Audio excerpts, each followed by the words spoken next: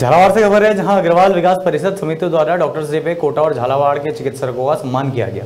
राष्ट्रीय अध्यक्ष प्रमोद मित्तल, राष्ट्रीय महामंत्री रोहित गर्ग ने बताया कि इस अवसर पर कोटा और झालावाड़ के सभी डॉक्टर्स का माल्यार्पण, शॉल और मोमेंटो देकर स्वागत और सत्कार किया गया।